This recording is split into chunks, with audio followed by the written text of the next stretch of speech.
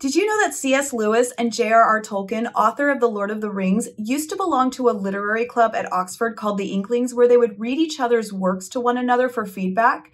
And did you know that Lewis wholeheartedly supported Tolkien's The Lord of the Rings, so much so that Tolkien even said later, the unpayable debt that I owe to Lewis was sheer encouragement. But did you also know that when Tolkien read Lewis's The Lion, the Witch, and the Wardrobe, he told Lewis that it was terrible because witches and Father Christmas and talking animals and figures from Greek and Norse mythology should never be thrown together in the same story? He was highly disapproving of it. Thankfully, though, Lewis listened to his other friends who loved the book, and so it was published in 1950, and it led to the publication of another six books, which is now known as the Chronicles of Narnia, a series that has since been adapted in some part or another for television, radio, the stage, film, and even video games. Now, The Lion, the Witch, and the Wardrobe is a children's book, and this I think is so crucial to understanding how this book is designed, its use of mythology, theology, and Christian stories, its genre as fantasy, and its intention as a supposal, all of which we're going to explore in this lecture today. Hi, everyone. I am Dr. Whitney Kosters, professor of English, offering full lectures and analyses of classic literature here on YouTube. So please subscribe to my channel if you're interested in learning a bit more about the books that continue to be talked about, including a number of canonical children's books. And since we're discussing a children's book today, I'm here to remind you that just because it's a children's book doesn't mean it can't lend itself to real substantial critical thinking and literary analysis. Too often, I think children's books are written off as simple stories or just a kid's book, but I think we really do a disservice not only to the literature, but also to children's imaginations and the way in which they perceive and understand the world. Because truly, I think that we adults can benefit from remembering what it was like to think like a child sometimes. And to be honest, this novel is pretty heavy in its philosophy and theology, so get ready. I think it's really crucial to know a bit about Lewis's relationship with Christianity in order to fully appreciate this novel.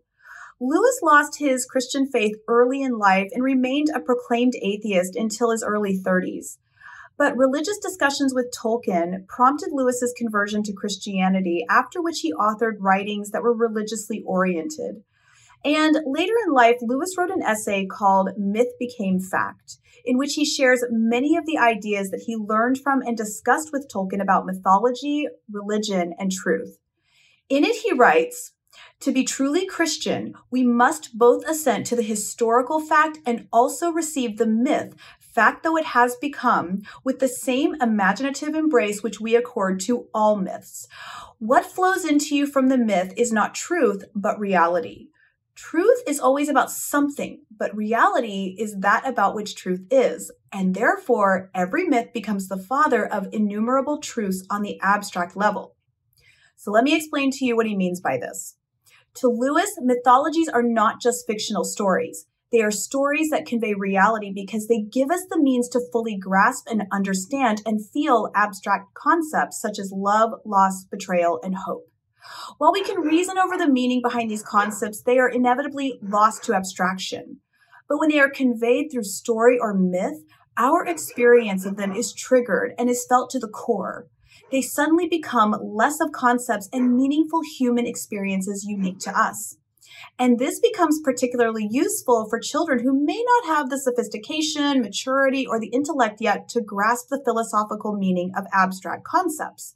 So we can teach a child about the abstract concept of loss, or we can tell them the story of Orpheus and Eurydice, in which Orpheus loses Eurydice twice, once to a snake bite and once after a treacherous journey into the underworld, full of hope that he can bring Eurydice back to life.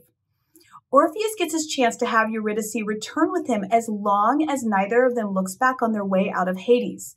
But upon seeing the sun, Orpheus is so excited, so full of love for Eurydice that he accidentally turns around to share his excitement with her, only for her to disappear forever. Such a story encourages us to empathize with Orpheus because we feel the pain of Orpheus being stripped of his love. The story invests us in his loss, especially since we have experienced loss in some way or another, whether that be the death of a loved one, the loss of a child's favorite toy, a friend moving away, or a broken relationship. Now, Lewis takes us one step further in that he argues that the Christian myth is a fact, since Jesus' existence is an historical fact. But the idea that Jesus is God, you know, and more than Balder, the Norse god who dies and comes back to life, is fact. But that fact is no less mythology in that it still expresses human emotions in a way that conveys reality. So to Lewis, it's not the interpretations and teachings so much as the mythology that is at the heart of religion. And we can see how he implements this idea throughout The Lion, the Witch, and the Wardrobe for his young readers. The story of the four Pevensie siblings journeying through this fantasy land called Narnia, encountering talking animals, magic, and a witch is the mythology that conveys to children the story of Jesus Christ, sacrifice, salvation, and resurrection, as well as the concepts of loyalty, betrayal, forgiveness, temptation, trust, support, family, and faith but it does not just convey these concepts. Lewis shows us what each of the Pevensie siblings does with these concepts, what they learn from them, and how they are each changed by them from ordinary kids to playing hide and seek to kings and queens willing to fight and sacrifice themselves for good over evil. And by making The Lion, the Witch, and the Wardrobe a fantasy, Lewis connects the story to children's imaginations, their fascination with magic and pretend, and gives them a world that is far removed from their real lives, a world in which it is much safer to think about loss, death, and betrayal. And it's important, I think, that the Pevensie children are not naturally already part of Narnia because they need to be relatable to the reader. Lewis gives us four ordinary children of different ages living a sheltered and somewhat orphan life since they've been sent to live in isolation with an old professor who is absent more than present. It's only through a mundane game of hide and seek that they discover an incredible magical world in which their loyalty, love, and characters will be explicitly and immediately tested and tried with very real consequences. And even though they, like the reader, are just as taken aback at the magical world of Narnia, they don't enjoy the privilege or the safety that the reader maintains from a distance the reader gets to escape and live vicariously through Peter, Susan, Edmund, and Lucy's experiences without the real fear of being turned to stone, held captive by an evil witch, or being outright killed. And it is here too that both the characters and the reader are presented with the story of Christ, his betrayal, his suffering, and his resurrection, but in a fantasy world.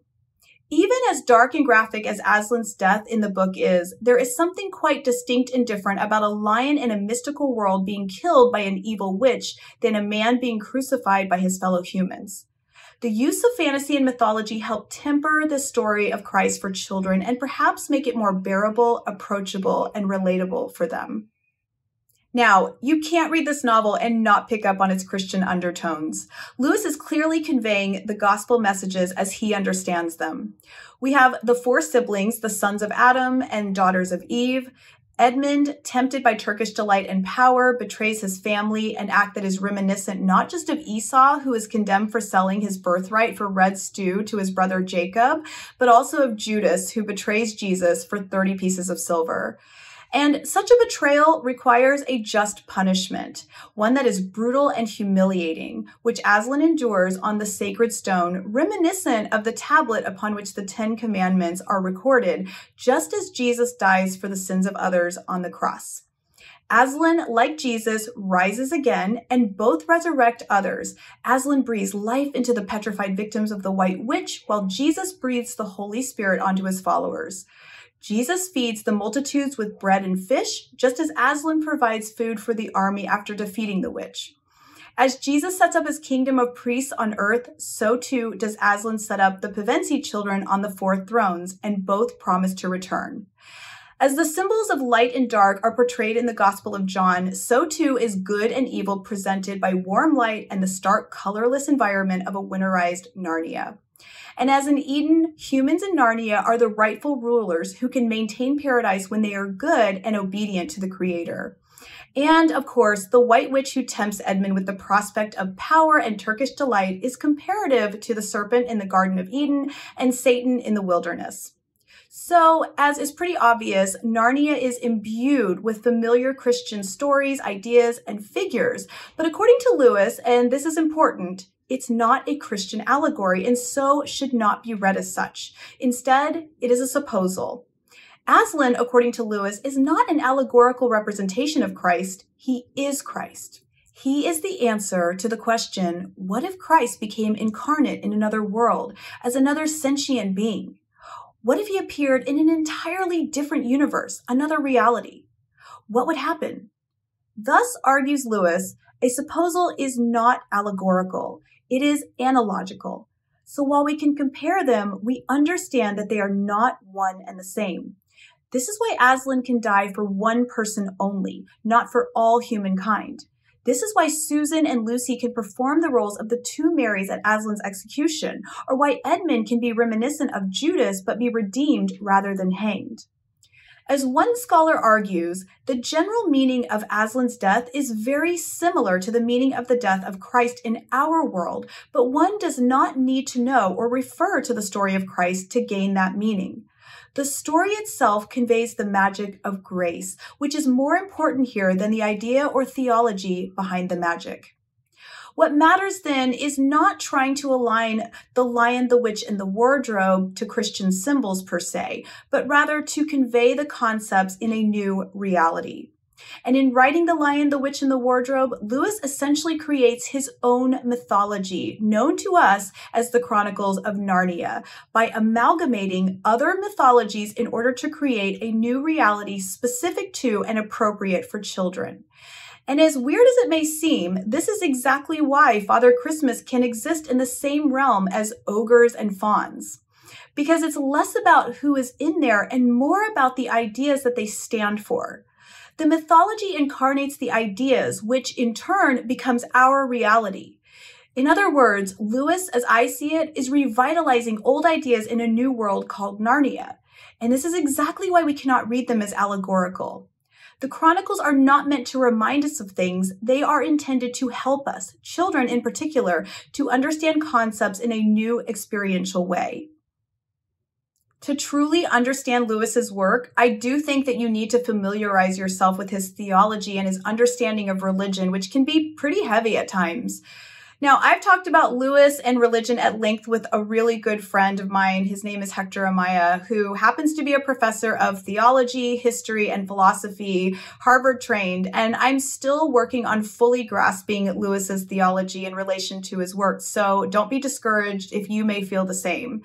And if you're interested in the intersections of mythology, its origins, and its development over time, please check out Professor Amaya's working website, which I've linked in the description box below. It's some really good stuff. Now, you can't really discuss The Lion, the Witch, and the Wardrobe without discussing the hero's journey or the monomyth, a common narrative framework found in mythological stories and beyond. According to Joseph Campbell, the scholar who coined the term, there are 17 stages that the hero completes on this journey in which a hero ventures forth from the world of common day into a region of supernatural wonder. Fabulous forces are there encountered and a decisive victory is won.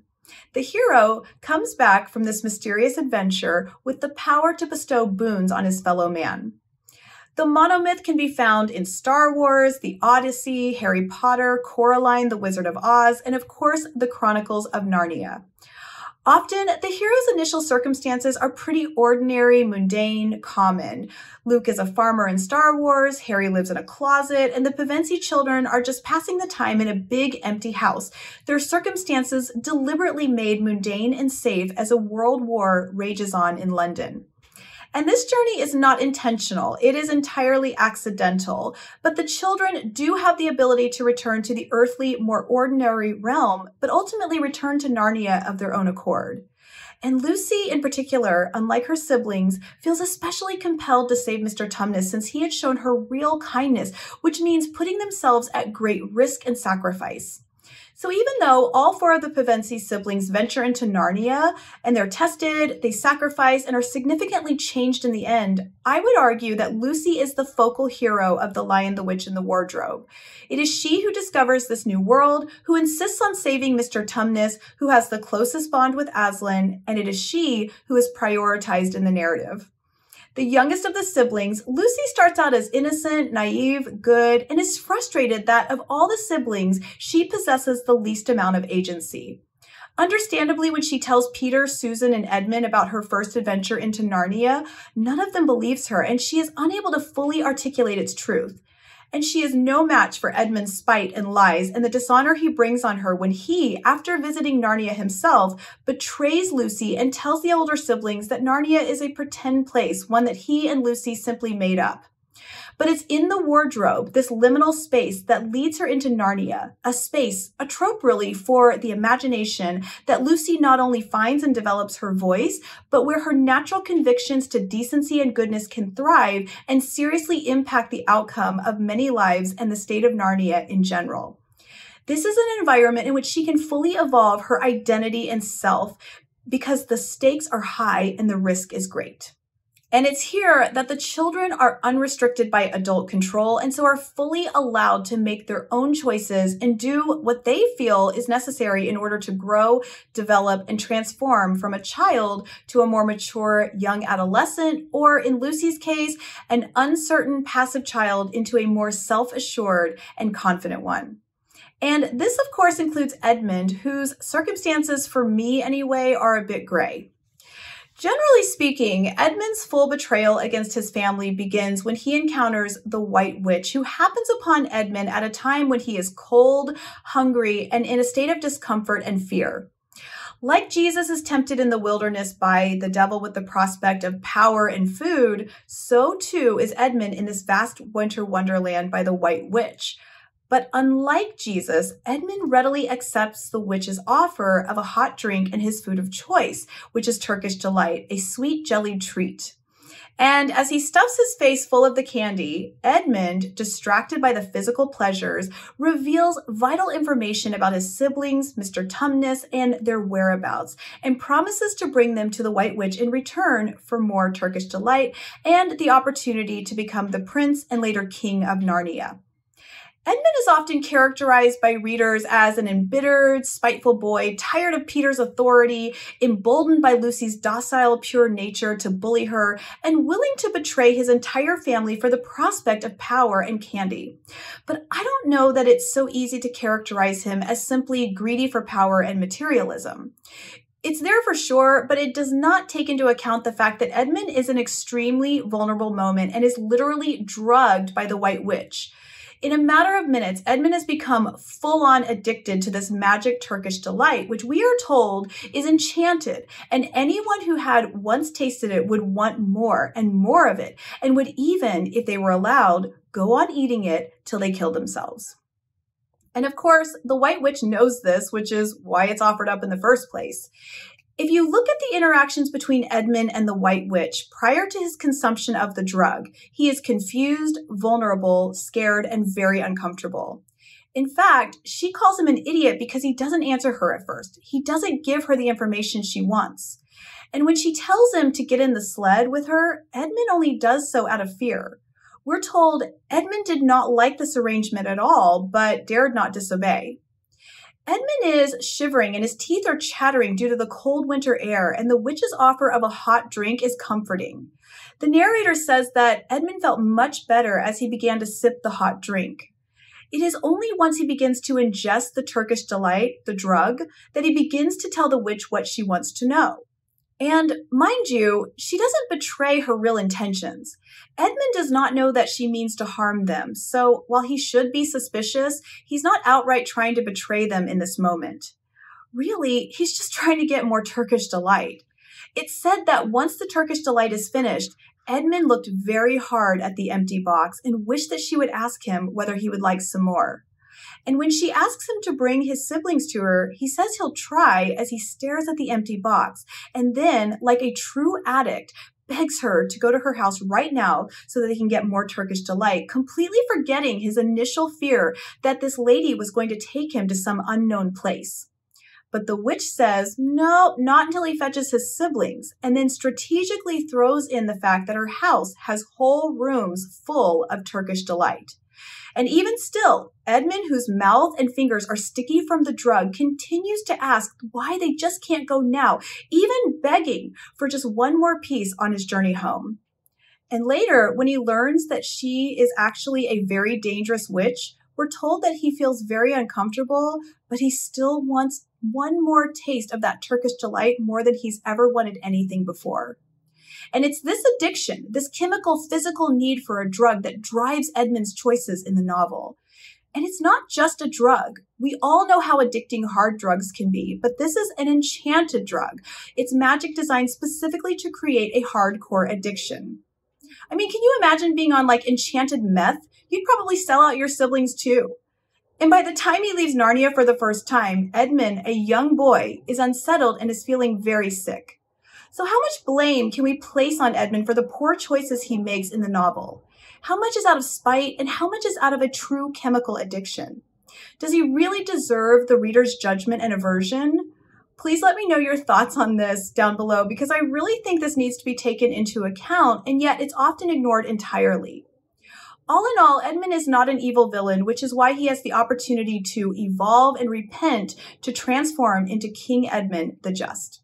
If you've read all seven books, then you'll know that the last chapter of the last book refers to the Shadowlands, during which Narnia is destroyed and all of the Pevensies and the good citizens of Narnia pass over into true Narnia, the Narnia they were always looking toward. This is, it seems, an appeal to Lewis's Platonic idealism the idea of a true Narnia. As one scholar writes, to Lewis, ideas form the basis of humanity's attempt at creation. So this is us going back to the reality of mythology here. It's said that in Narnia, ideas become real. This is part of the ontology of Narnia as a created reality. This is a supposed ontology with its own internal coherence. So this further proves the point that the Chronicles of Narnia is a mythology in its own right, one with its own reality upon which we as readers can impose our ideas. In other words, as I discussed earlier, the myth itself is reality. This life is temporary. So when we go to heaven, we see things as they are. And only by reading the scriptures and mythology now do we get a taste of that reality. This is why the children, while on Earth or the temporal material world, are always looking to Narnia, which, as we know, is imperfect. And this is why in Narnia, they are always looking toward the true Narnia, which is what Christians call heaven. This is the eternal, immutable reality, as Plato would say. Let me know what your thoughts are on this as well. So no matter if children even pick up on Lewis's theological and philosophical assertions, they do see the differences between good and evil, the need for loyalty, family, and the importance of standing up for what is right. By giving us this myth of the world of Narnia, Lewis has not just created a fun, enriching fantasy world that helps young readers understand the love and sacrifice of Christ, but also a new ontological experience for young readers to experience their own reality, their own ideas uninhibited by adults. Thanks so much for joining me here today, and feel free to check out some of my other lectures on children's literature like Coraline, Charlie and the Chocolate Factory, The Giving Tree, and Where the Wild Things Are. I'll see you guys there.